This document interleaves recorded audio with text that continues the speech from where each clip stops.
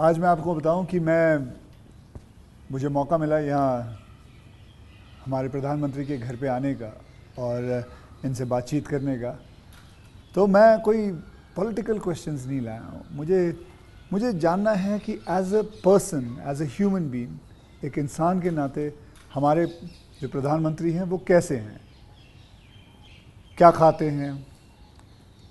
क्या बातचीत मतलब अ, उनकी पूरी दिन में जो सब चीज़ें होती हैं मतलब पॉलिटिक को छोड़ के उन उसके बारे में मैं उनसे जानना चाहूँगा। तो सबसे पहले सर आपका बहुत बहुत धन्यवाद करना चाहता हूँ कि आपने मौका दिया है आपसे बात करने का।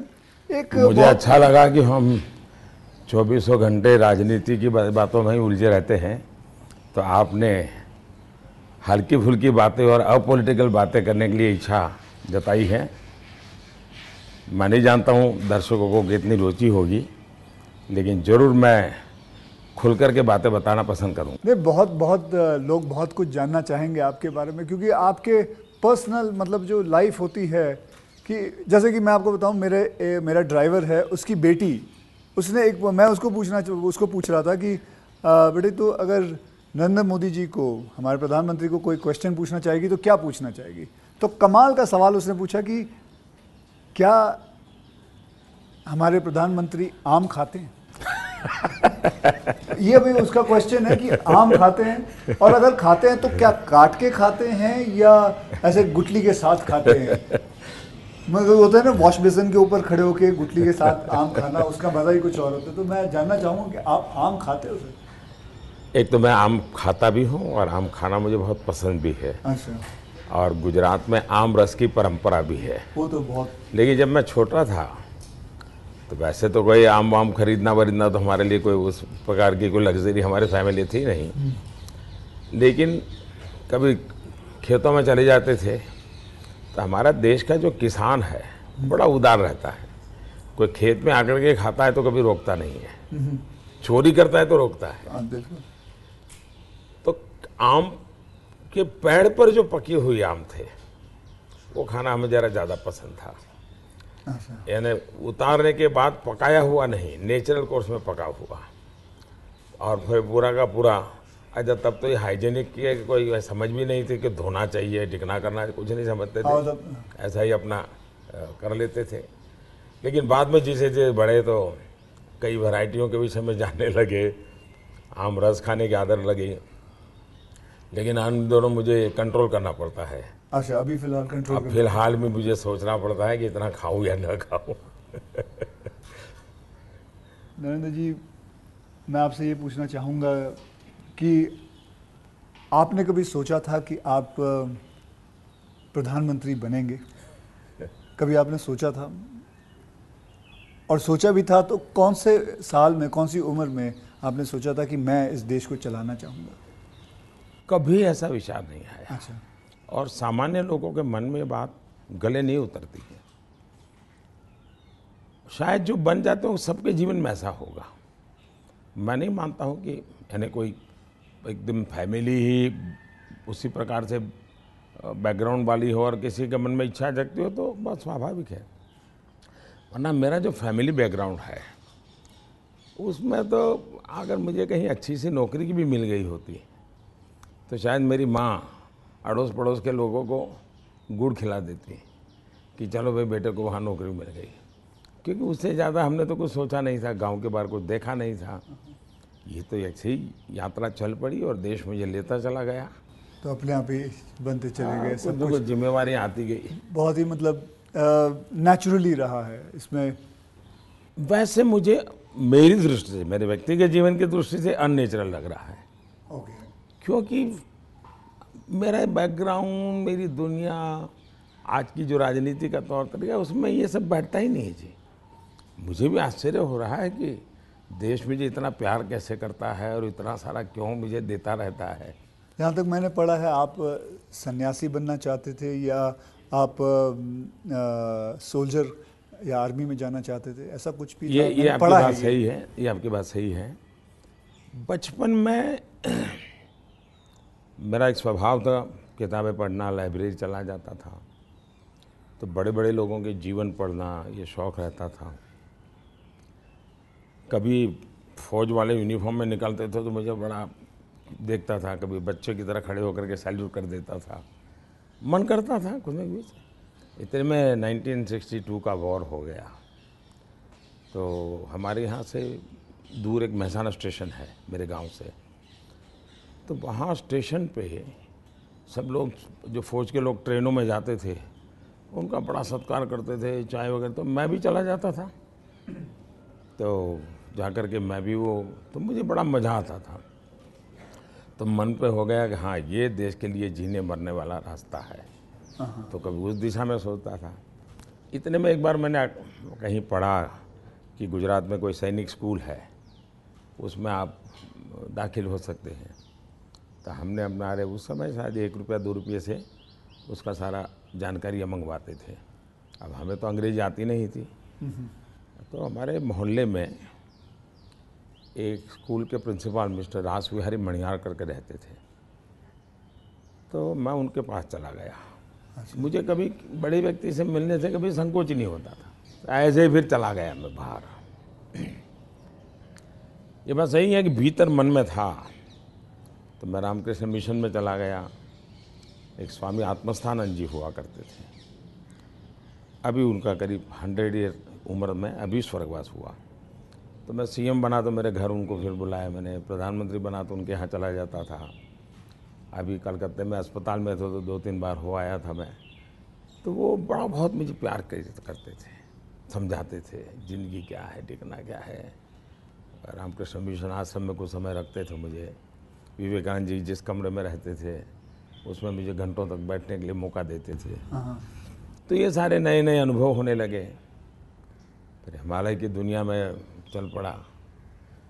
बहुत कुछ भटका बहुत कुछ घुमा दुनिया देखी। और ये सब 18-20 साल 22 साल की उम्र में ही करता रहा मैं। लेकिन कुछ कन्फ्यूज़न भी था कुछ इरादे भी थे। कोई गाइडेंस भी नहीं मिल रहा था। लेकिन मन में सवाल खुद पैदा करता था जवाब खुद ढूंढता रहता था। ऐसे भटकता भटकता भटकता यहाँ पहुँच गया। तो आपकी लाइफ को मैं अभी अभी आपकी बात में सुन रहा हूँ तो मुझे लगता है अगर आप प्रधानमंत्री नहीं होते होते तो जिस हिसाब से आप बता रहे हो तो सन्यासी ज़्यादा लगते थे। मतलब सन्यासी बन जाते थे अगर आप वैसे मैं क्या बनता ये कहना अभी कठिन लग रहा है। क्योंकि जो सोचा नहीं वो बन गया। वो तो हमेशा होता है। मेरे साथ भी, मैं भी आपको अगर एक किस्सा सुनाऊँगा तो मेरे साथ भी ऐसा ही कुछ हुआ है। मैं क्या बनने वाला था? मैं एक मार्शल आर्ट का टीचर बनना चाहता था। कहाँ मैं फ़िल्मों में आ गया और फ़िल्मों में आते आते हीरो बन गया। मैं आपसे क्या, हमारे प्रधानमंत्री जी को मैं ये जानना चाहता हूँ, गुस्सा आता है? और मतलब क्योंकि देखिए, सबको गुस्सा आता है। आई एम श्योर आपको भी गुस्सा आता अगर आता भी है तो उस गुस्से में आप क्या करते हो? वो गुस्सा निकालने के लिए किस पे निकालते हो और कैसे निकालते हो? मेरे लिए ये ये कभी कोई कहेगा कि मुझे गुस्सा नहीं आता है तो बहुत लोग को सरप्राइज़ होता है। आपको गुस्सा नहीं आता? मैं बताता हूँ। अच्छा। सरप्राइज़ होता है। इसलिए ये कहना कि राज़ी नाराजी गुस्सा ये मनुष्य के स्वभाव के हिस्से हैं। अच्छा। ज़िंदगी उसके बिना हो नहीं। हर प्रकार की चीज़ें हर के अंदर होती है। लेकिन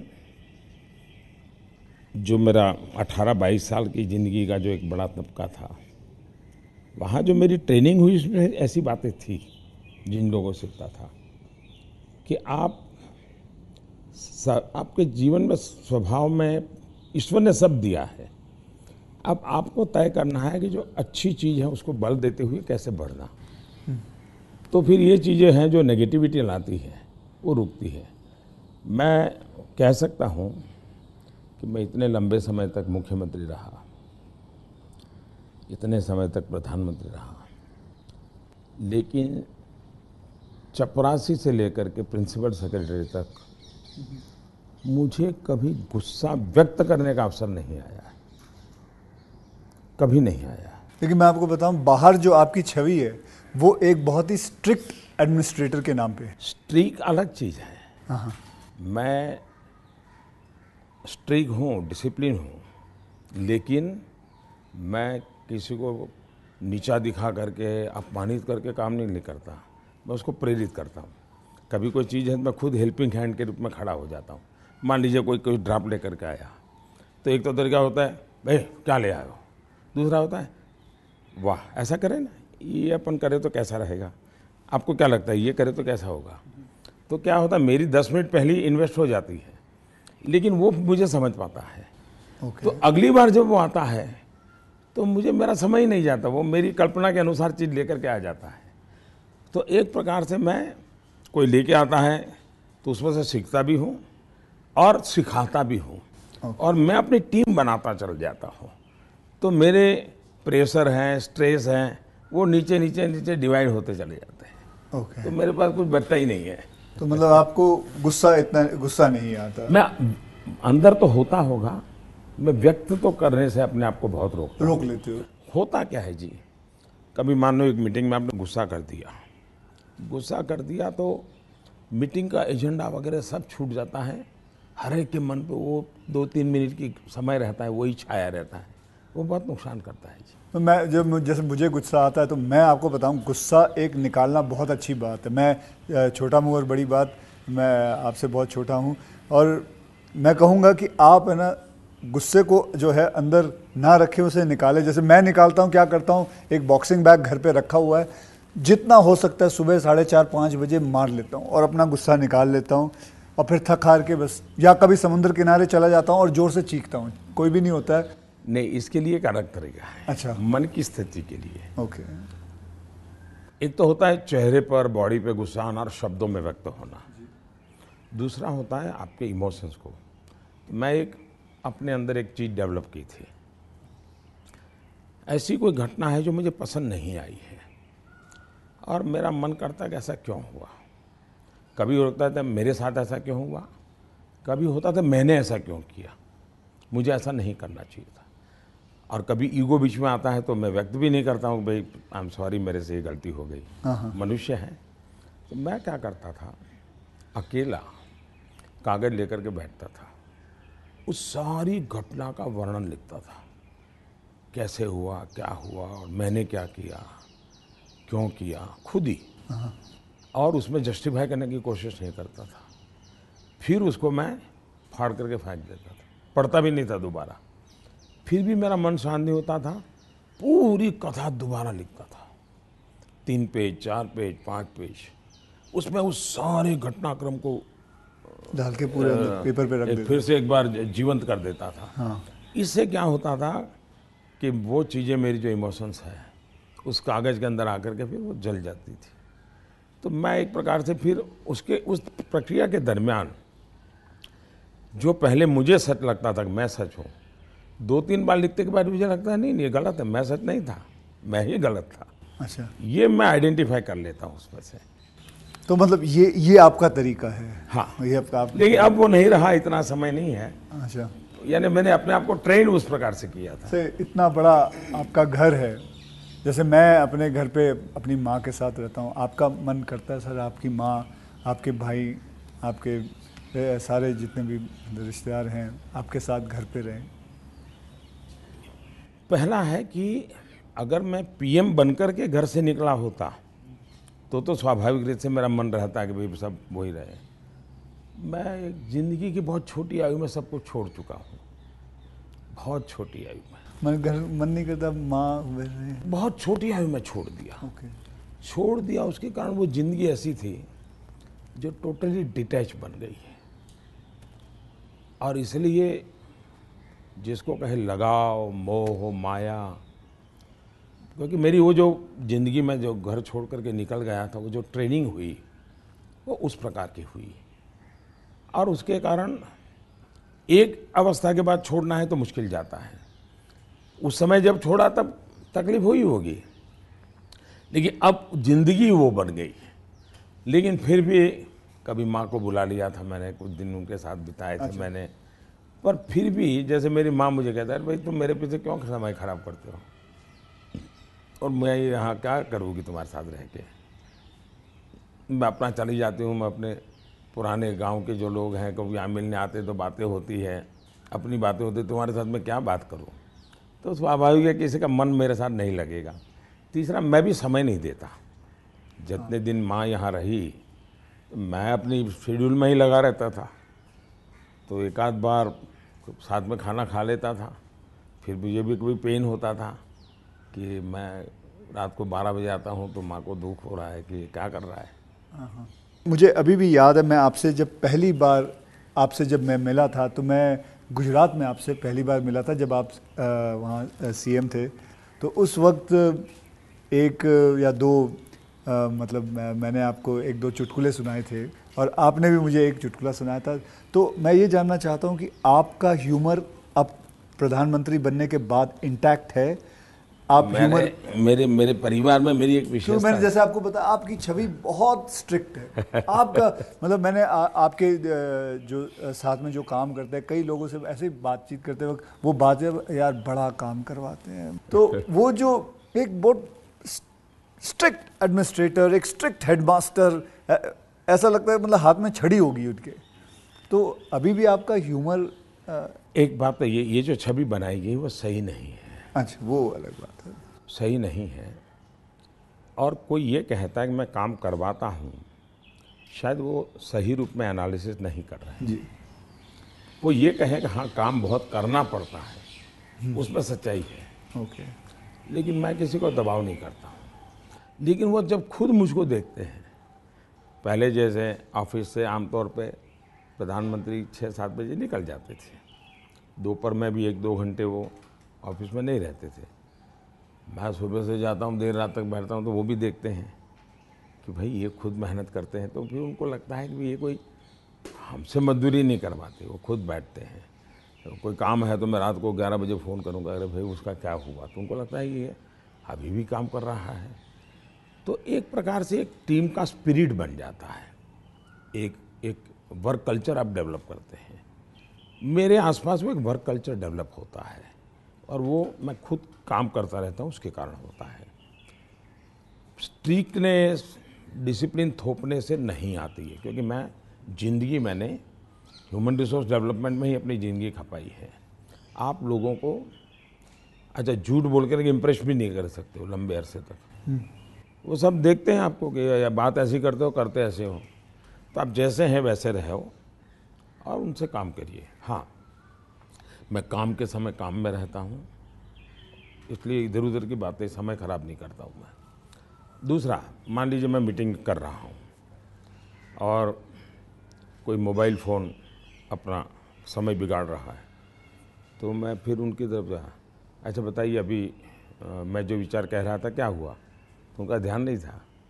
तो उनको लगता था मोबाइल फ़ोन में मैं ट्विटर देख रहा था। तो तब से मेरी मीटिंग में समझ लोग समझ गए कि मोबाइल फ़ोन मोबाइल नहीं, नहीं जाना चाहिए। मैं किसी से भी मिलता हूँ कोई भी व्यक्ति आएगा मेरा कभी बीच में फ़ोन नहीं आता है मैं किसी को ये नहीं नहीं कहता मानता हूँ मैं मैं मैं भी आपसे दो तीन बार मिला हूँ आपने मतलब इट इज़ तो ये मैंने डिसिप्लिन खुद के जीवन में लाया। तो सामने वाले को लगता है कि यार ये टोटली मेरे लिए डेडिकेटेड टाइम था। इन्होंने कोई उपयोग नहीं किया। इन चीज़ों का एक प्रभाव पैदा होता है। जहाँ तक ह्यूमर का सवाल है मेरे परिवार में हमेशा एक कल्पना थी। कभी पिताजी राज़ी नाराजी हुए हो कभी छोटी मोटी हो तो हमेशा मैं पूरे माहौल को एक आधे मिनट में हल्का कर देता था। ये मेरा एक स्वभाव था। आज भी मुझे वो करने का मज़ा आता है। शब्दों से खेलना वगैरह। पर अब क्या हो गया है जी? हर चीज़ के अलग अर्थ निकाले जाते हैं। आधा अधूरा वाक्य उठा करके उछाल दिया जाता है। तो अब डर लगता है कि कहीं दैट्स वेरी इट इज़ कहीं कहीं जा कर के इरादा वो नहीं होता है। हँसी मज़ाक कहावत सब होना चाहिए। लेकिन अब दुरुपयोग हो जाता है तो डर लगता है। आज ये सोशल मीडिया की वजह से लोग कोई भी शब्द कोई भी उल्टा सीधा करवा सोशल मीडिया के बजाय टीआरपी वाले। परेशानी टीआरपी वाले करते हैं। तो आप जरा अपना ह्यूमर को बचा के रखते हो। लेकिन अपने दोस्तों के साथ आपके जो दोस्त हाँ हाँ हाँ वो तो आज भी चलता है जी। मेरी कैबिनेट मीटिंग का विवेक होता है तो मेरे जो जूनियर अफसर हैं वैसे वो बेचारे संकोच करते हैं क्योंकि उनके लिए पीएम जो एक और बना हुआ है दुनिया में वो तो बड़ा अलग है। मैंने वो औरा रखा नहीं है। मैं दोस्ताना करता हूँ। तो मैं उनको चुटकुले सुनाता रहता हूँ कभी कभी सर ऑपोजिशन पार्टी में आपके कोई दोस्त हैं? बहुत दोस्त है बहुत अच्छे दोस्त तो आप अभी भी उनके साथ कभी चाय पीना? बहुत अच्छे दोस्त हैं हम लोग साल में एक दो बार साथ खाना भी खाते हैं। अच्छा। हाँ। अब वे खैर वो फॉर्मल होता है क्योंकि हम तो कैमरा में देखते हैं हम तो मीडिया के सामने मीडिया जो दिखाती है हम तो वही देखते हैं हमको तो पता ही नहीं होता बहुत पहले की बात है जी। तब तो मैं मुख्यमंत्री भी नहीं था। नहीं किसी काम से मैं शायद पार्लियामेंट गया था। और गुलाम नबी आज़ाद और मैं बड़े दोस्ताना अंदाज में गप्पे मार रहे थे। फिर हम बाहर निकलते तो मीडिया वालों ने पूछा कह रहे यार आप लोग इतने पक्के दोस्त। मार रहे हो? फिर तुम तो बोले आर वाले हो। एक गुलाम नबी से तुम्हारी दोस्ती कैसे है? हाँ। तो फिर गुलाम नबी ने अच्छा जवाब दिया। हम दोनों खड़े थे। बोला देखो भाई बाहर जो आप लोग सोचते हो ऐसा नहीं है। शायद एक फैमिली के रूप में हम लोग जितने जुड़े हुए हैं सभी दल के लोग हाँ। वो शायद बाहर कल्पना नहीं कर सकते। आपको हैरानी होगी। और वैसे मैं ये बोलूँगा तो चुनाव में मेरा नुकसान भी हो सकता है। लेकिन ये ममता दीदी हाँ। साल में आज भी मुझे एक दो कुर्ते वो खुद सिलेक्ट करने जाती है। और अच्छा। मेरे लिए एक दो कुर्ते भेजती है। अच्छा। हाँ। that is that is something very big to know about sir अच्छा। वो मिठाई भी। बांग्लादेश के प्रधानमंत्री हैं शेख हसीना जी। तो मेरा दौरा हुआ तो तो ऐसे ही बंगाली मिठाइयों की चर्चा चली। तो आज भी वो साल में तीन चार बार कोई न कोई बंगाली नई मिठाई होगी। तो स्पेशली ढाका से मुझे भेज देती अच्छा वहाँ हाँ स्पेशली बड़ा आग्रह करके। तो ममता दीदी को पता चला। तो वो भी साल में एक दो बार। मेरे लिए कुछ न कुछ बंगाली मिठाई ज़रूर भेज देती है। मोदी जी, मैं आपसे एक बात जानना चाहूँगा। मैंने ये सुना है जब मैं पिछली बारी आई थिंक पिछले साल मैंने ये सुना था कि जब आप गुजरात से, गुजरात के सीएम से आप निकल के आप प्राइम मिनिस्टर जब बने थे तो आपकी जो जमा पूंजी थी आपके बैंक में करीबन 21 लाख रुपए थे और वो 21 लाख आपने अपने स्टाफ की बच्चियों के नाम पे एफडी या उनको बांट दिए थे। तो आज मैं जानना चाहूँगा आप नहीं भी जवाब दे सकते हैं। आज आपका बैंक बैलेंस कितना है? एक तो ये आधी अधूरी बात है। अच्छा। आधी अधूरी इसलिए है कि जब मैं गुजरात से सीएम के रूप में निकला वैसे मैं मेरा कोई बैंक अकाउंट नहीं था। सीएम बनने के बाद एमएलए बना तो मेरा तनख्वाह आना शुरू हो गया। आपकी बैंक अकाउंट नहीं? उसके अच्छा। पहले नहीं था अच्छा, हाँ। हाँ। एक बचपन में निकाला था तो वो भी एक बड़ी लंबी कथा है। मेरी स्कूल में वहाँ मेरे गाँव में एक देना बैंक का ब्रांच खुला। तो स्कूल के अंदर वो देना बैंक के लोग आए थे। उन्होंने सब बच्चों को एक गुल्लड़ देते कुल्लड़ बोलते? हाँ, हाँ, गुल्लक, गुल्लक। गुल्लक। गुल्लक दिया। और बच्चों को कहा भाई इसमें आपको पैसे डालना है और हर महीने बैंक में जमा कराना आपके नाम से पैसा जमा होगा। तो हमने भी बैंक अकाउंट उसमें खुलवा दिया। अब हमारे गुल्लक में तो कुछ आया ही नहीं। अच्छा। आने वाला कुछ था ही नहीं तो क्या आएगा? तो हम तो कभी पैसा जमा नहीं कराया। अब गाँव छोड़ के चले गए हम। बैंक में हमारा अकाउंट बना रहा। तो उनको हर साल वो कैरी फॉरवर्ड करना पड़ता था लिखा पट्टी करनी पड़ती थी। वो मुझे ढूंढते रहते थे कि इसका बैंक अकाउंट बंद करना है इसको बुलाए कहाँ से? तो शायद तीस बत्तीस साल तक वो बना रहा। और उनको कहीं पता चला बाद में कि मैं अब पॉलिटिक्स में हूँ तो बैंक वाले मेरे पास आए। बोले साहब जरा सिग्नेचर कर दीजिए आपका एक बचपन का बैंक अकाउंट पड़ा हुआ है हमको बंद करना है। अच्छा। तो मेरी बैंक अकाउंट से दुनिया ये रही। लेकिन जब मैं सीएम बना एमएलए बना तो फिर जो वेतन मिलता है वो आना शुरू हो गया। तब बैंक अकाउंट खुल गया। मैंने तो कभी वो देखा नहीं है। मेरा स्टाफ देखता था। जब मैं निकला वहाँ से तो मैंने हमारे अफसरों को बुलाया। मैंने कहा, भाई मेरा तो है नहीं।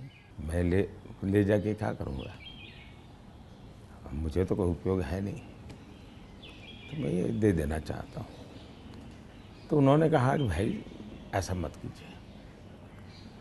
मैं कहा मैं करूँगा क्या इसलिए जाकर? तो खैर, अफसर लोग मेरी इज़्ज़त करते थे तो ज़्यादा बहस नहीं की, चले गए। शाम को एक सीनियर अफसर को लेकर के आए मिलने के लिए। फिर उन सबने तीन तीन लोग थे। ये समझाया कि बोले देखो मोदी जी, ठीक है, आपको ज़रूरत नहीं पड़े, लेकिन आपके ऊपर इतने कोर्ट केसेस चल रहे हैं गुजरात में। वकील भी इतने महँगे होंगे हैं, आपको कभी ना कभी पैसों की ज़रूरत पड़ेगी। पद पर तो कब रहोगे कितना रहोगे आप? और बाद में बोले कोई नहीं देगा आपको। तो हमारी प्रार्थना है कि तो ऐसा मत कीजिए। तो मैंने कहा क्या करूँ? बोले ठीक है आपकी इच्छा है तो कुछ हिस्सा दीजिए। तो उसमें से मैंने फिर 21 लाख रुपया दिया। अच्छा उसमें से हाँ। ओके। मेरे अपने जेब से दे दिया। और मैंने कहा कि ये जो हमारा सेक्रेटरीट है उसमें जो ड्राइवर है हाँ। प्यून है उनकी खास करके बच्चियाँ उनको ये शिक्षा दीक्षा के लिए खर्च करना। अभी वो फाउंडेशन शायद बनाया हुआ है गुजरात सरकार ने और उसमें से वो मदद कर भी रहे हैं। फिर वहाँ मुझे एक सरकार की तरफ़ से एमएलए को एक प्लॉट मिलता है। ओके। पैसों से मिलता है लेकिन कम, कम खर्चे में में हाँ। वो प्लॉट मिला। तो मैंने पार्टी को कहा भाई ये ले लो आप। मैं आपको दे देना चाहता हूँ, मुझे कुछ चाहिए नहीं। तो मेरी वो प्रक्रिया चल रही थी, फिर पता चला कि वो मामला तो कहीं सुप्रीम कोर्ट में लटका पड़ा है। शायद वो ज़मीन किसी को दे नहीं सकते, इस प्रकार का कुछ है मुझे पूरा याद मालूम नहीं, क्योंकि मैं इस चीज़ों में रुचि नहीं लेता। लेकिन जब भी वो क्लियर हो जाएगा तो मैंने वो भी पार्टी को देना तय किया हुआ है। साहब सच में गुजराती है ना? क्योंकि गुजराती जो होते हैं वो पैसों के लिए बहुत सही रहते हैं। मतलब मैं नहीं मानता कि मतलब आपने अपना प्लॉट दे दिया आपने पैसे दे दिए तो आप क्योंकि मैं आपको अगर आप इजाज़त दे तो मैं एक छोटा चुटकुला सुनाना चाहता हूँ। जी, जी, जी। एक गुजराती आदमी था बुज़ुर्ग आदमी था वो मर रहा था। तो वो कहता है अ, मेरी गुजराती ज़रा इतनी ठीक नहीं है। लेकिन वो कहता है कि अ, अ, मारो દીકરો ક્યાં છે મતલબ અ, મારા બેટા मेरा बेटा कहाँ अ, तो बेटा अगर डैडी હું यहाँ છું મારી દીકરી ક્યાં છે डैडी हूँ यहाँ છું मेरी बीवी कहाँ है मैं भी यहाँ हूँ आप तीनों यहाँ हैं तो दुकान पे कौन है तो सारे के सारे इधर ही आ गए हो तो मेरे दुकान पे कौन है क्योंकि मैं मानने को तैयार नहीं हूँ कि क्योंकि मैंने देखा है गुजरात मेरे बहुत सारे गुजराती दोस्त हैं गुजराती जो होते हैं वो अपने पैसों को बहुत सही संभाल के रखते हैं वो अपने पैसों से दूर नहीं रहते। मैं आपको एक चुटकुला सुना दूँ। ठीक है ये बहुत बड़ी हमारे यहाँ चुटकुला चलता है कि एक बार प्लेटफॉर्म पर ट्रेन आई रेलवे ट्रेन में। हाँ। तो ऊपर ही बर्थ पे कोई पैसेंजर सोया हुआ था। तो उसने देखा स्टेशन आया। तो उसने खिड़की में आवाज़ लगा के बाहर किसी को पूछा कि भाई कौन सा स्टेशन आया? तो उसने कहा चार आना दोगे तो जवाब दूँगा। तो बोले जवाब की ज़रूरत नहीं अहमदाबाद होगा। समझ गया मैं। बिल्कुल तो ये ये बिल्कुल बात सही एक है। और और एक बता बताता हूँ। ये किसी की आलोचना करने के लिए नहीं है लेकिन कोई भी अर्थ निकाल सकता है। और ये सत्य घटना में से बना हुआ चुटकुला है। बहुत साल पहले वैसे मेरी ज़िंदगी ऐसी थी। ये हाफ़ स्लीव का कुर्ता और पैजामा जूते और थैला यही से मैं रेलवे में भटकता रहता था और दाढ़ी रहती थी। तो मैं पुणे स्टेशन पे उतरा। अच्छा। और कोई मेरे पास ज़्यादा सामान तो था नहीं मेरा एक वो झोला था एक अखबार था हाथ में। तो मैं पैदल चला जा रहा था मुझे पुणे में आरएसएस दफ्तर में जाना था। तो मैं पैदल ही जा रहा था।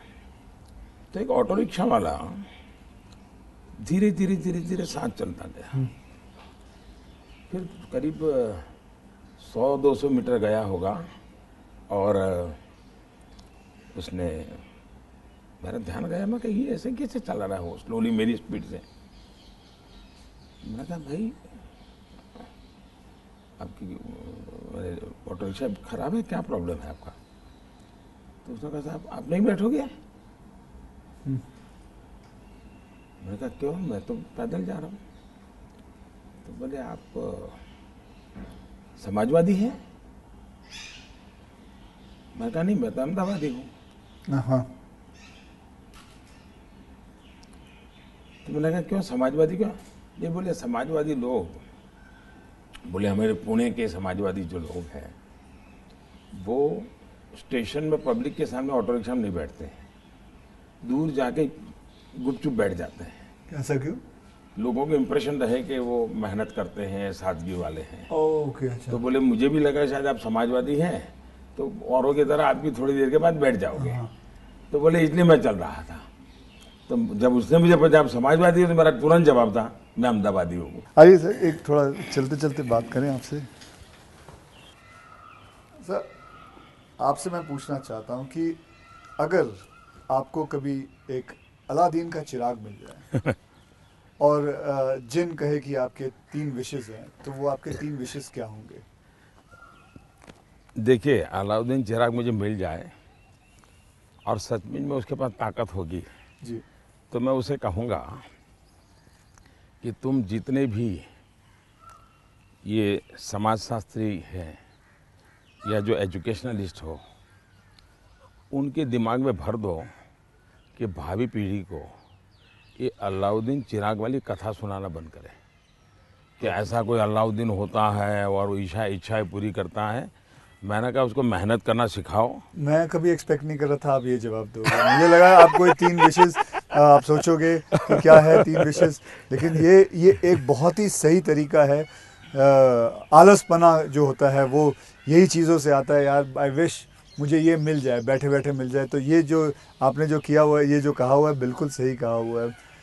ये मूलतः बाहर से आए हुआ चिंतन है जी। मैंने रिसर्च नहीं किया है। हाँ हाँ। ये हमारे यहाँ मूल चिंतन ऐसे नहीं है। मूल चिंतन तो हमारे यहाँ परिश्रम का है जी।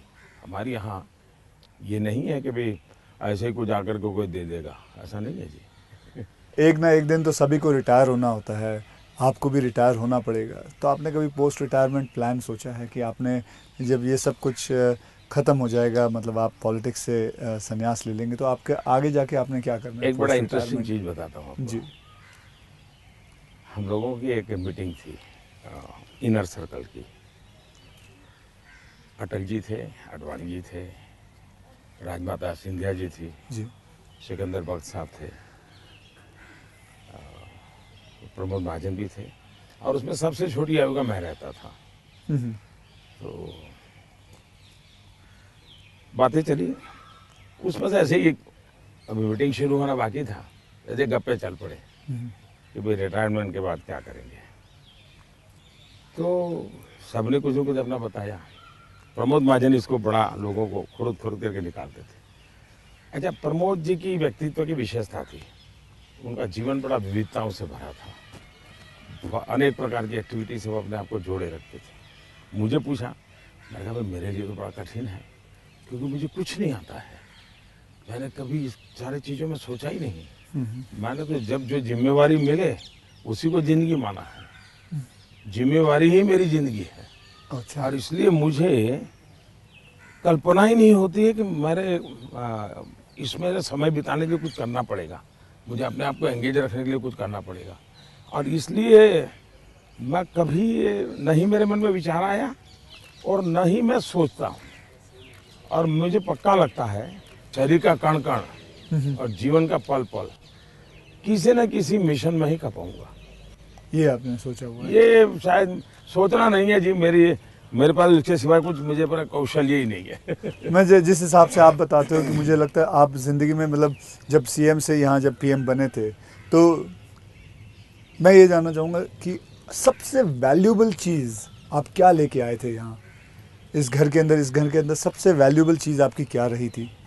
अगर मैं वैसे ये पूरी बातचीत आपने पहले ही मुझे कहा कि भाई मैं तो कोई राजनीति की चर्चा करना नहीं चाहता। नहीं। नहीं, लेकिन कुछ मात्रा में मैं कह सकता हूँ कि प्रधानमंत्री बनते समय शायद और प्रधानमंत्रियों को ये बेनिफिट नहीं मिला है जो मुझे मिला है। देश में इतने प्रधानमंत्री हो गए। जी। इतने प्रधानमंत्रियों को ये बेनिफिट नहीं मिला है जो मुझे मिला है। हम्म, वो ये है कि मैं लंबे अरसे तक मुख्यमंत्री रह के आया हूँ। हम्म, और मैं गुजरात का लॉन्गेस्ट सर्विंग चीफ मिनिस्टर था। चीफ मिनिस्टर होने के नाते आपको बारीकियों से जुड़ना पड़ता है। बारीकियों से काम करना पड़ता है। आपको इश्यू आपके सामने सीधे आते हैं। सॉल्यूशन आपको सीधा करना पड़ता है। ये तजुर्बा शायद मेरे पहले के किसी प्रधानमंत्री को नहीं मिला। इतना सद्भाग्य नहीं मिला। देवगौड़ा साहब मुख्यमंत्री रहे थे लेकिन बहुत अल्पकाल के लिए। मैं बहुत लंबा रहा हूँ। मैं समझता हूँ कि इसने मुझे देश की सेवा करने के लिए बहुत बड़ी संबल दिया बहुत बड़ी ताकत दी है। ये मैं अपना एक मान सकता हूँ कि वहाँ से मैं लेकर के आया। ये जो देश के काम आ रहा है। आप जैसे मैं जानता हूँ जैसे मैं आपके एक स्टाफ मेंबर से भी बात कर रहा था आप तीन या चार साढ़े तीन घंटे ही सोते हैं। मतलब सात घंटे तो सोना एक अमूमन एक शरीर को चाहिए चाहिए। आप साढ़े तीन घंटे ही सोते हो ये बात ये बात आपकी सही है। मेरे जो जितने मेरे साथी हैं मेरे जानने वाले लोग हैं या हमारे जो अब सरकार में आया हूँ तो डॉक्टर भी रहते हैं। उन सबका मेरे से एक ही आग्रह रहता है कि मेरी नींद में बढ़ाऊँ। राष्ट्रपति ओबामा जब मुझे मिले तो वो भी सबसे पहले मेरे से इसी के में उलझ गए। बोले मोदी जी क्यों ऐसा करते हैं? बोले मैं हम दोनों अच्छे दोस्त हैं। जी। तू तारी करके बुलाते हैं एक दूसरे को। तो तू ऐसा क्यों करता है जी तुझे आज पता नहीं है। ये तेरा नशा है काम का तुम करते रहोगे लेकिन तुम बहुत तुम अपना नुकसान कर रहे हो। हम्म, और वो जब भी मिलते हैं कि तुम मेरी बात मानते हो कि नहीं मानते हो कि नींद बढ़ाई कि नहीं बढ़ाई अब पता नहीं मेरा एक बॉडी साइकिल ऐसा हो गया है।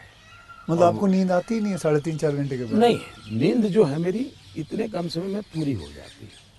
स्ट्रेस की वजह से तो आप उठ नहीं जाते हो कि अब मुझे काम नहीं नहीं नहीं नहीं नहीं मैं इतना इतना नॉर्मली देखा है आपने कि कोई भी व्यक्ति उठता है हाथ पैर इधर उधर करता है आँखें ऐसे ऐसे करता है। मेरा कुछ नहीं। आँख खुलती है फ्रिक्शन ऑफ़ सेकंड मेरा पैर ज़मीन पे होता है। मैं उठ जाता हूँ उससे हाँ, उठता मैंने बिस्तर पे उठता वैसा नहीं। बिस्तर से भी बाहर होता हूँ अब ये हो सकता है वो मेरी जो 18-22 साल के कालखंड में जिस ज़िंदगी को मैं जी रहा था जी। उसमें से शायद ये डेवलप हुआ है।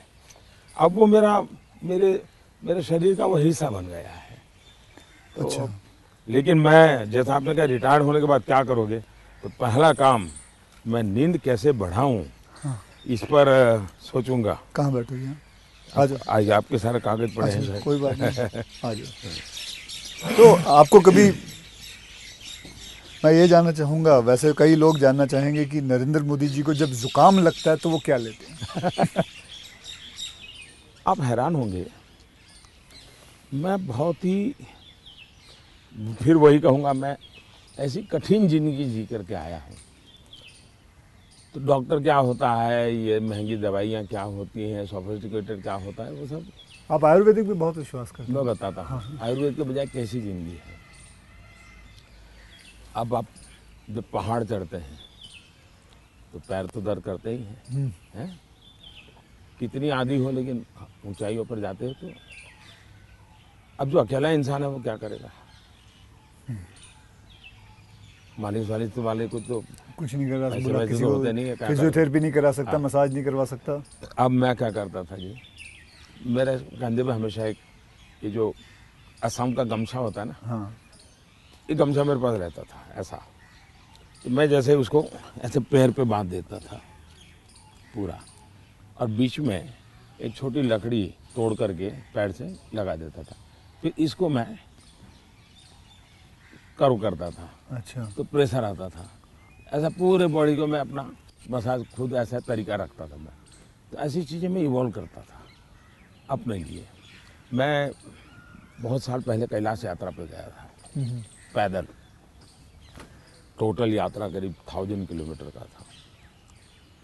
पैदल गया। कुछ और भी लोग थे। बड़े धनी लोग भी वहाँ कभी कभी यात्रा में आते थे। अब बहुत बड़े बड़े महँगे वो चमड़ी बचाने के लिए सब लेकर के आए हुए थे। मेरे पास तो कुछ था मेरे पास कैस्टर ऑयल था। और वो भी रॉ सीधा वो घानी से निकाला निकाला हुआ हाँ। तो उसकी स्मेल भी बहुत ख़राब होती है। तो मैं उसी को लगाता था। अब ये लोग पाँचवें छठे दिन मुँह नहीं धो सकते थे क्योंकि उनकी चमड़ी जल करके निकल करके लटक गई थी। तो वो बड़े परेशान रहते थे। और मुझे कुछ नहीं होता। था बोला मैं तेज तलार रहता था तो मुझे पूछने लगे कि आप क्या करते हो? बोला कहा, कुछ नहीं भाई कैस्टर लगाता हूँ भाई। तो रात को हम जब पहाड़ चढ़ करके रात्रि मुकाम होता था ये मेरे पास आ जाते थे। हर कोई एक एक बूंद कैस्ट्रोल में से ले जाता था। जुकाम होता है देख तो मैं गर्म पानी पूरा समय पीता हूँ। गर्म पानी? गर्म पानी। उसमें कुछ शहद या कुछ? कुछ नहीं। कुछ सिंपल गर्म पानी। दूसरा हो सके तो फास्टिंग करता हूँ। अच्छा। फास्टिंग यानी एकदम से सिवाय पानी कुछ नहीं एक दो दो दिन चौबीस घंटे अड़तालीस घंटे ज़्यादा नहीं करना पड़ता। तीसरा ये सरसों का तेल होता है उसको थोड़ा गर्म करके थोड़ा गर्म करके रात को दो तीन बूंद डाल देता हूँ। जलन बहुत होती है लेकिन ये मेरा एक दो दिन में क्लियर कर देता है। तो ऐसे ही जी, जी, जीने की आदत है। मैं अ, कुछ चीज़ें करता हूँ वो मैं चाहूँगा पूछना चाहूँगा आपसे। मैं एक मैंने चीज़ फॉलो की है जिसको कहते हैं कि सात बारह पाँच इंटू चालीस। यानी सात बजे मैं ब्रेकफास्ट कर लेता हूँ बारह बजे मैं अपना लंच खा लेता हूँ और पाँच बजे डिनर खा लेता हूँ। और इंटू चालीस यानी कि जब भी एक गस्सा खाता हूँ उसे चालीस बार चबाना है। तो ये मैंने अपने शास्त्रों में पढ़ा है कई लोगों से बात की है तो आप इससे सहमत हैं? बिल्कुल सहमत हूँ और ये बिल्कुल सही रास्ता आपने चुना हुआ है। हमारे देश में मूल आदत यही है। हाँ। ये वेस्टर्न जो वर्ल्ड आया उसने फिर धीरे धीरे इसमें ये ये बदलाव किया कि लोग वरना हमारा किसान आज भी गाँव में सूर्यास्त के पहले चीनी लेना सर मैं नहीं लेता जी। नहीं। सूर्यास्त के पहले थैंक यू खाना खा लेता है। और दिन में भी आपने देखा होगा किसान सुबह एक प्रकार से वो किसको आप नाश्ता कहते हैं लेकिन एक्चुअली उसका वो लंच जैसा ही होता है। हाँ। वो काफ़ी मात्रा में बड़े बड़े रोटी और, और सब्ज़ी या चटनी कुछ लेकर के खेत चला जाता दिन में थोड़ा सा लेकर के उसकी पत्नी सर पे कुछ रख करके जाती है। वो पूरा भोजन नहीं होता है। हाँ हाँ। थोड़ा होता है। ये आज भी हमारे देश में परंपरा है ये। आपका एक फ़ैशन स्टेटमेंट बहुत बढ़िया है मतलब दाढ़ी वाड़ी एकदम सही किया हुआ और मतलब कभी कभी मैं देखता हूँ आप हाफ़ स्लीव कुर्ता पहनते हैं ज़्यादा करके हाफ़ स्लीव कुर्ता पहनते हैं। तो ये जो फ़ैशन ये जो है ये जो आपकी जो शेविंग और ये सब अ, क्या ये मतलब फ़ैशन जो है ये आपने खुद ने किया है या आपने किसी आप, को आपने बहुत अच्छा सवाल पूछा। जैसे मैं बहुत स्ट्रीक हूँ गुस्सा करता हूँ। ये जो एक छवि बनाई गई है वैसे दूसरी छवि मेरे मेरे इन कपड़ों की दुनिया को लेकर के बनाई गई है। दरअसल क्या है मैं छोटी बैग में मेरी ज़िंदगी थी और मैं ट्रैवलिंग करता रहता था। जी आपने बताया झोले में। और तो मैं देखता था कि एक तो मैं कपड़े खुद धोता था। हम्म, सीएम बना तब तक मैं कपड़े खुद धोया। हूँ ओके कभी मैंने कपड़े। तो फिर मैंने कैसे सोचा कि लंबी बाहें रखता हूँ तो मुझे इतना ज़्यादा धोना पड़ता है। दूसरा ओ। दूसरा मेरे बैग में वो जगह ज़्यादा लेता है। हम्म, तो मैंने खुद नहीं काट दिया था। अच्छा वो जगह ज़्यादा लेता है इसलिए आपने उसको इसको मैंने काट दिया था। ओके। अब वो बात वो फ़ैशन बढ़ गया जी। ये बात सही है कि मैं ढंग से रहना ये मेरी प्रकृति थी। शायद एक कारण ये भी था कि गरीबी के कारण कभी कभी इन्फेरिटी फील होती थी लोगों के बीच में। तो उसको ओवरकम करने के लिए शायद साइकोलॉजी पढ़ी होगी बचपन में ऐसा मुझे लगता है। ओके तो मैं क्या करता था अब हमारे घर में वो प्रेस करने के लिए तो कुछ था नहीं। तो मैं ये बर्तन का जो लोटा रहता है उसमें कोयला भर देता था गर्म कोयला। और उसी से कपड़ों को प्रेस करता था और पहन के जाता था। लेकिन जूते नहीं थे। तो मेरे एक मामा एक दिन आए घर पे। तो पता नहीं उनका मन कर गया तो उन्होंने मेरे लिए जूते ला दिए। तो एक कैनवास के सफ़ेद जूते हैं ना? जी। हाँ छोटे से शायद उस समय तो आठ दस रुपये मिलते होंगे। वो ले आए। तो मैंने देखा थोड़े दिन में तो वो गंदे होना शुरू हो गए। तो मैं क्या करता था? क्लासरूम में सब बच्चे चले जाते थे। मैं रुका रहता था। और टीचर जो ब्लैक बोर्ड पे लिखता है ना तो बाद में जो छोटा चॉकस्टिक का टुकड़ा रह जाता है वो ऐसे ही फेंक देता है हाँ हाँ? हाँ हाँ हाँ। तो मैं उसको इकट्ठा करता था। वो चॉकस्टिक के टुकड़े वो ले आता था। और हर दिन सुबह चॉकस्टिक जूतों पे लगा देता था। हाँ हाँ हाँ समझ गया और डेली ये ये- मैंने एक- कई बार आपसे मिला हूँ आप घड़ी जो है हाँ।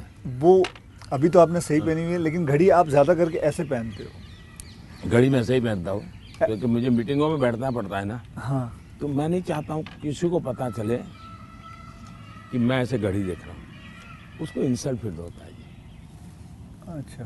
तो मैं उसके सम्मान के लिए हमेशा कॉन्शियस रहता हूँ कि ऐसे चोरी छुपे से घड़ी देख लेता हूँ। आप कोई बैठा है बात कर रहा है और घड़ी देखते हैं तो मतलब कि आप उसको इशारा करो भी बहुत हो गया जाओ।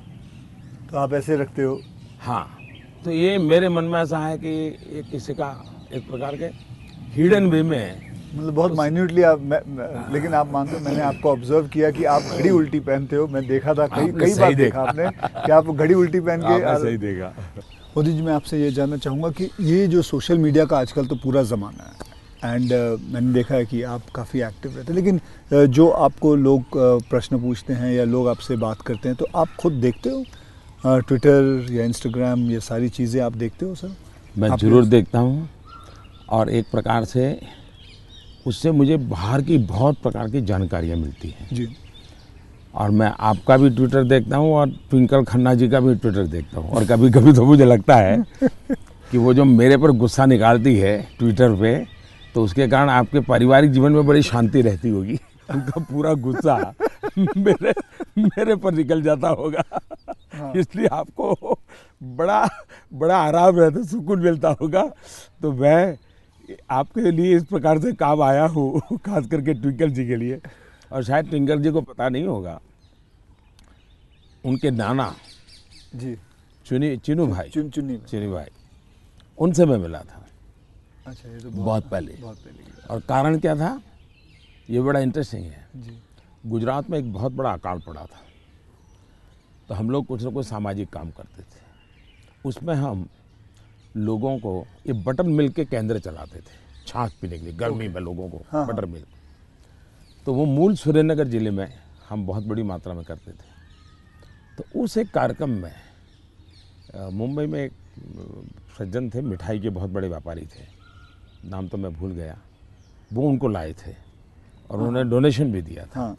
और हमने ऐसे छाछ केंद्र चालू किए थे बटर मिल्क के। ओके। बहुत बड़ी मात्रा में। जैसे पानी की परब रहती है वैसे छाछ की परब रहती थी। और हर गरीब व्यक्ति वो तो उस समय मैं उस सेवा के काम में लगा था। और उस समय इनके नाना जी वहाँ आए थे। तो उस समय मेरी उनसे मुलाकात हुई थी। अच्छा तब मुलाकात काफ़ी बातें हुई थी उनके साथ। तो मेरा उस प्रकार से उनसे परिचय रहा है। हाँ।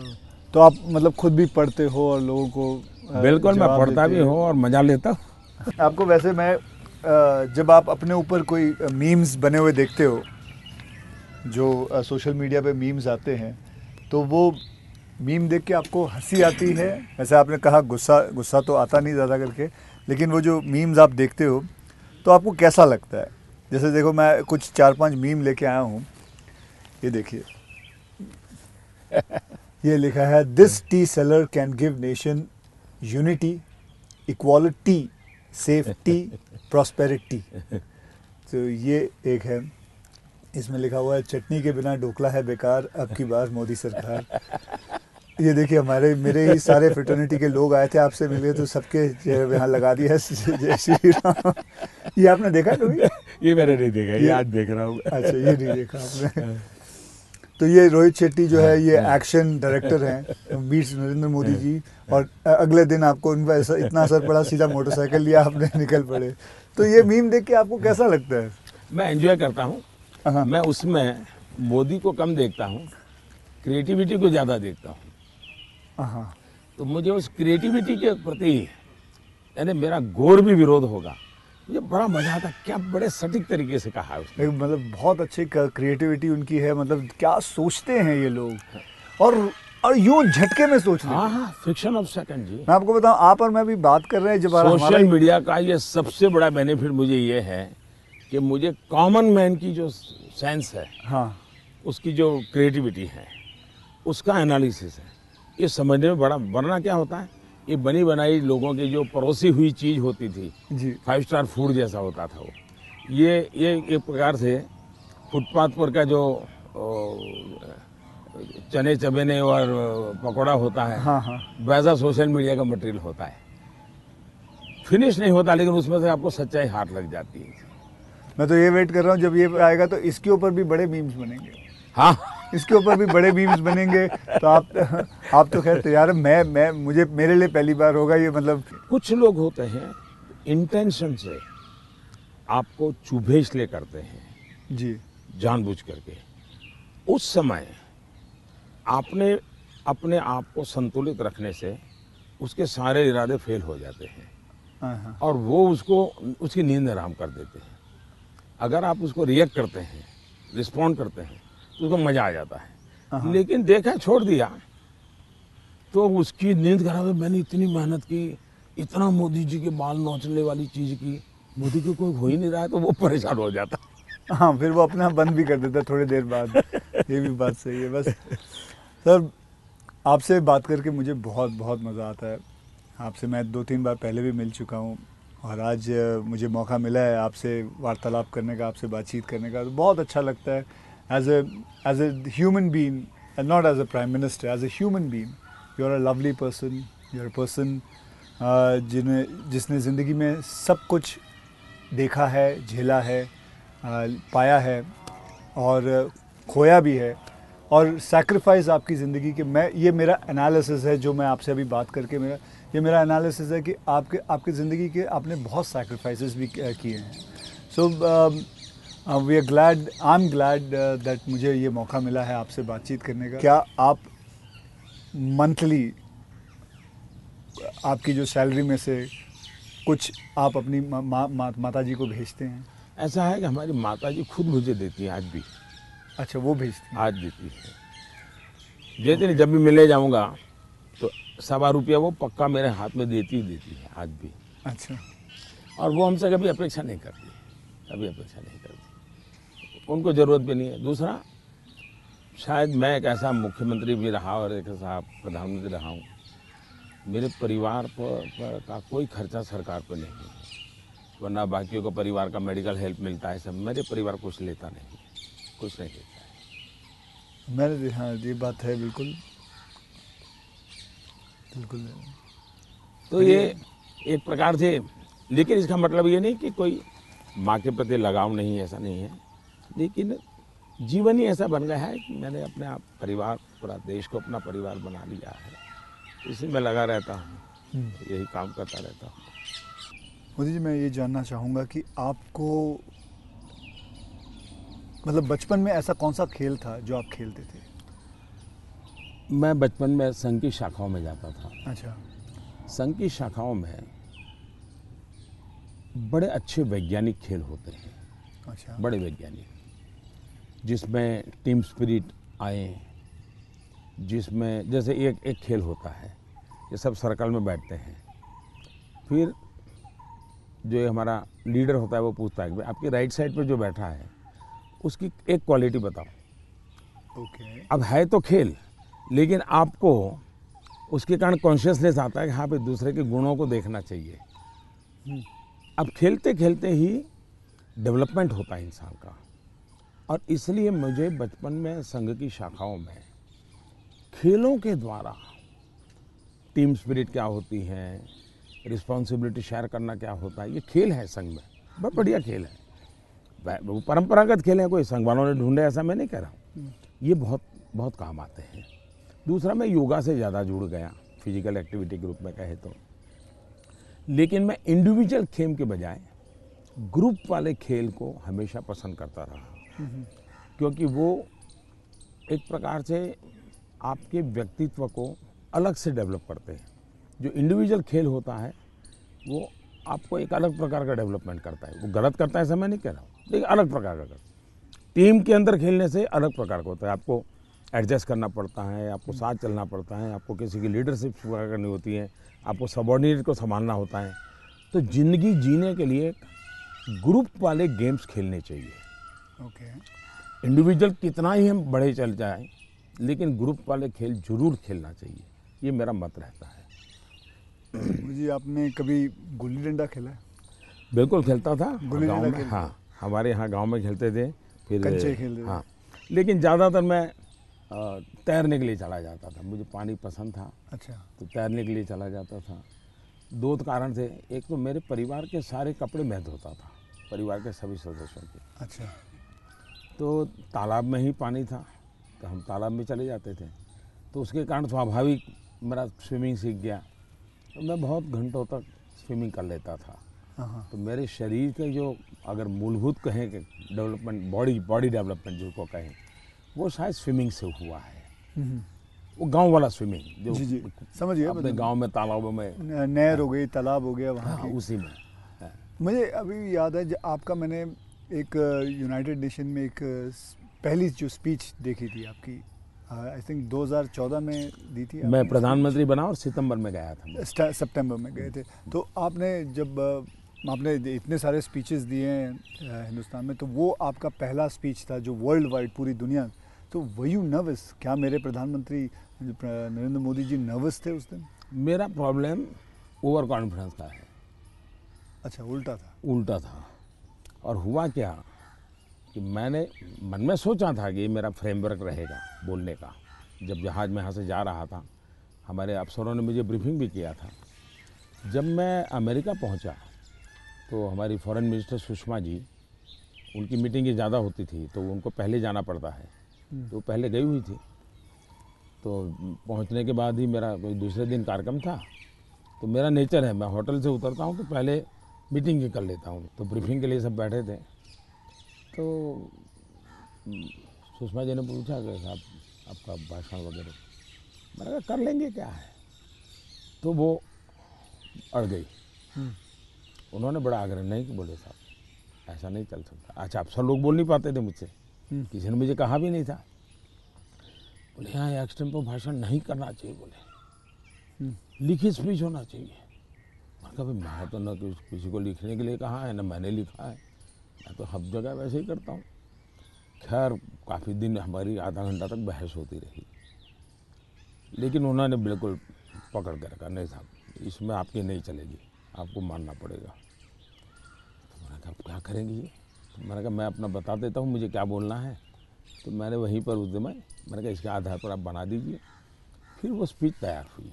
हम्म, अब मुझे स्पीच प्रॉब्लम नहीं था पढ़ना ही प्रॉब्लम था।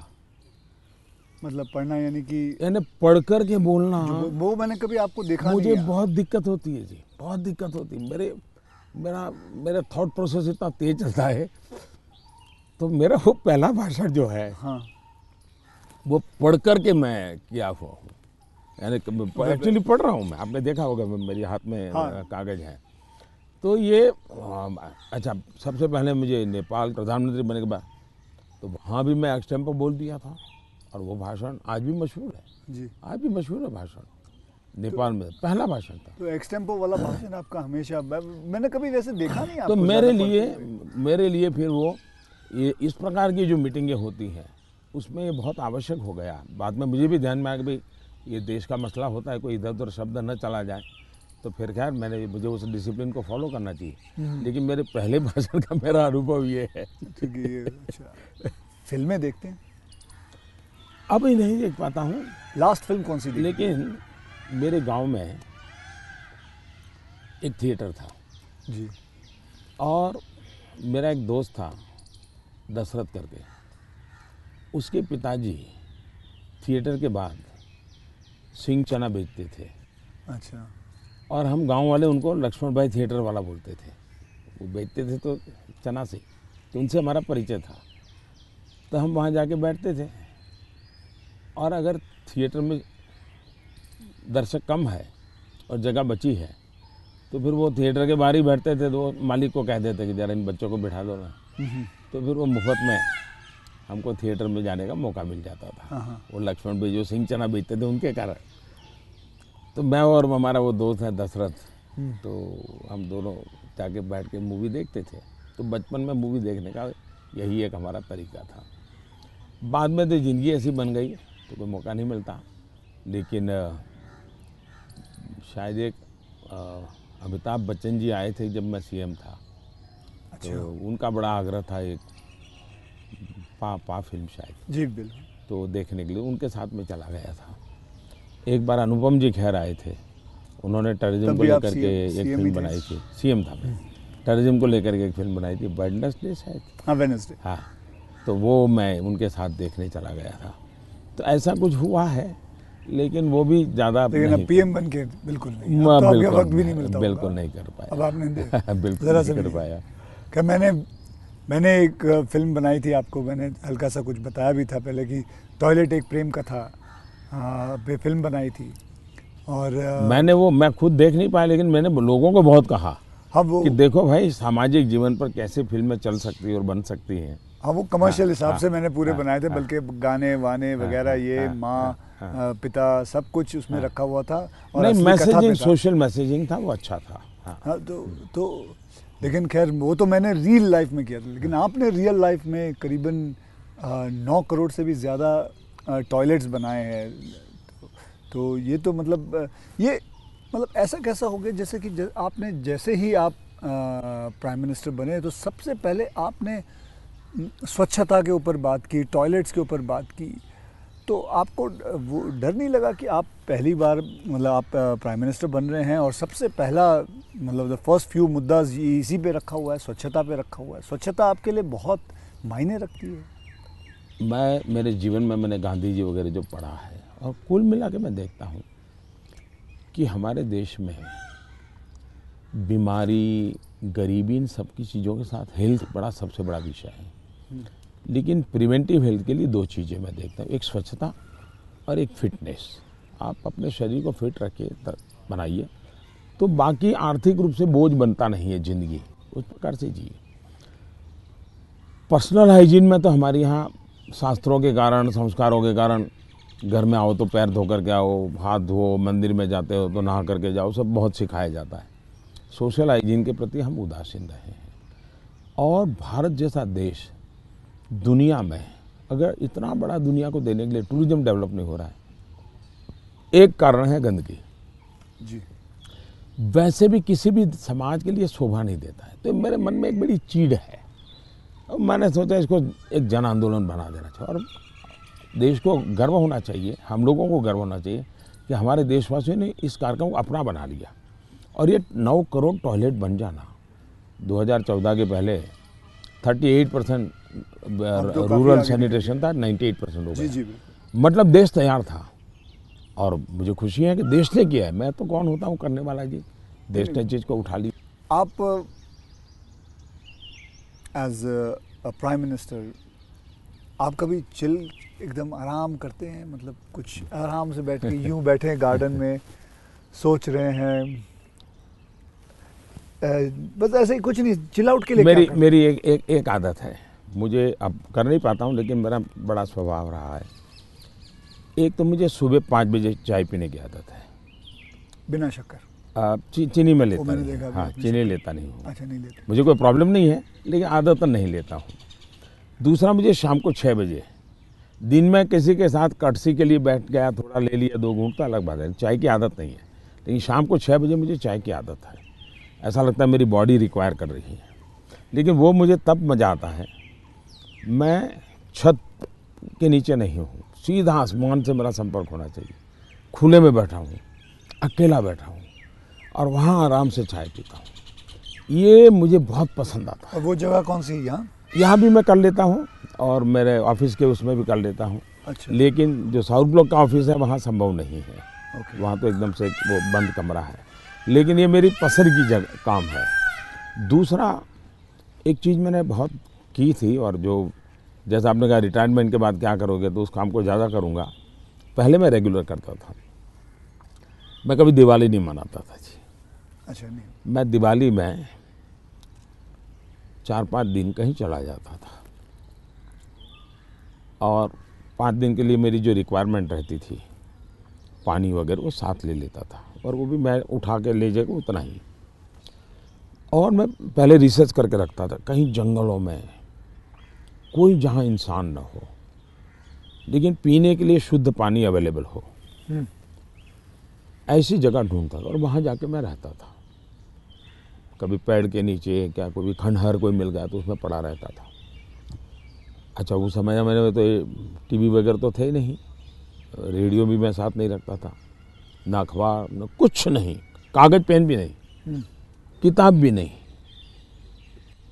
कुछ नहीं। कुछ नहीं अच्छा। और पाँच दिन मैं ऐसे ही अकेला रहता था प्रकृति को देखना। एक प्रकार से मेरा वो कार्यक्रम का नाम था मैं मुझसे मिलने जाता हूँ। ओके मैं मुझसे मिलने जाता हूँ। ऐसा ही मेरा वो मेरी ज़िंदगी में बहुत बड़ी ताकत देने वाली चीज़ है। तो अभी कई वर्षों तक अब नहीं कर पाता हूँ अब नहीं कर पाता हूँ। अब तो क्या एस पी जी वगैरह ऐसा कवर हो गया है ज़िंदगी अलग हो जाती है। लेकिन बहुत सालों तक मैंने किया है। और मैं उससे बहुत ताकत पाता था। और जो विचार आए आने देता था। किसी विचार को टिकना है तो टिकना कुछ लिखता भी नहीं था। ऐसे ही रहता था। तो यही मेरा एक तरीका रहता था। आ- आपका और मेरे में कॉमन यही है कि आप अ, अ, चाय बेचते थे और मैं जी वेटर था। दोनों के आप और मेरे में ये भी है कि हम दोनों के कोई गॉडफादर नहीं थे। हम अपनी ज़िंदगी अपने टर्म्स और कंडीशंस पे बनाई है। बस तो ये ये रहा है बस। जब मैं चाय बेचता था बहुत कुछ सीखने को मिला मुझे। हाँ, बहुत लोगों से मिलने का मौका मिलता था। हर एक के स्वभाव को समझता था। बिना कारण जो चाय पीने वाला है गुस्सा करता था डांट देता था। तो इन चीज़ों को सीखने में बहुत काम आया। लेकिन एक चीज़ मैंने बहुत मज़ेदार है मेरी ज़िंदगी की। मैं जब लोगों से हिंदी में बात करता हूँ तो बहुत सरप्राइज़ करते मुझे हमारे सिकंदर बख्त साहब थे बीजेपी के लीडर। जी। वो मुझे हमेशा कह रहे यार मोदी तू इतनी बढ़िया हिंदी कैसे बोल लेता है? तू तो बोले गुज्जू है। ये तेरा मुरारजी वो दोस्त था ना है तो बहुत बढ़िया आयु के थे। हम्म। बोले तेरा मुरारजी इतने साल तक यहाँ रहा लेकिन उसको हिंदी बोलना नहीं आता है। ऐसा मुझे तो उसका कारण ये था कि मैं चाय बेचता था तो मेरे गाँव में ये जो ट्रेनें तो बहुत कम आती थी लेकिन ये जो मालगाड़ी होती है जो माल ढोती है वो ज़्यादा आती थी। और मुंबई में जो भैंसों का तबेले रहते हैं उसके जो दूध बेचने वाले लोग हैं वो क्या करते हैं दूध जब भैंस देती है तब तक मुंबई में रखते हैं। बाद में वो गाँव में आके छोड़ देते हैं। वो भैंसों को लाना ले जाना एक बड़ा कारोबार चलता था। तो वो आते थे और वो बेचारे घास वास उसी में भरते थे उसी में रहते थे और भैंसों को ले जाते थे। एक व्यक्ति आएगा तो तीन चार दिन रहना पड़ता था। हम उनको उनको चाय चाहिए हम चाय देते थे। उनसे बातें करते करते मैं हिंदी सीख गया। अच्छा। अच्छा फिर वो क्या करते थे अपना म्यूज़िक की कुछ चीज़ें ले आते थे तो शाम को वो चौपाइयाँ वोपाइयाँ अपना भजन कीर्तन करते रहते तो मैं कभी जाके बैठ जाता था। तो मुझे उसके कारण नॉर्थ के कल्चर से परिचय आया। ओके तो एक प्रकार से चाय ने मुझे ये लैंग्वेज सिखा दी। तो आप ये जो सॉन्ग की बात आई आप कभी कोई हिंदी गाना गुनगुनाते हो अकेले में? गुण तो गुनगुनाना तो नहीं होता है लेकिन मैं जब चाहता तो मेरे मन पे जो कुछ गीत है ज्योति कलश छल के या ये पवन वेग से उड़ने वाले घोड़े ऐसे जो गीत थे बहुत पुराने तो बहुत अच्छे लगते थे। आज के कोई गाने नहीं गुनगुना आज तो पता ही नहीं मुझे आज तो पता ही नहीं मुझे। मुझे आपसे बात करके चलिए। देश की ये लोगों के लिए काम आएगा कुछ बातें नहीं नहीं नहीं ये ये बहुत सारी चीज़ें काम में आएँगी इसमें बहुत सारी चीज़ें लेकिन मुझे अच्छा ये लगा कि ये चुनावी आपाधापी तू तू मैमे के बीच ये आ, ही- ये भी एक कुछ एक पल होता है। तो जो आप पूछते हैं ना कैसे रिलैक्स होते हो ये भी तरीका है रिलैक्स होने का। बहुत रिलीफ रहेगा।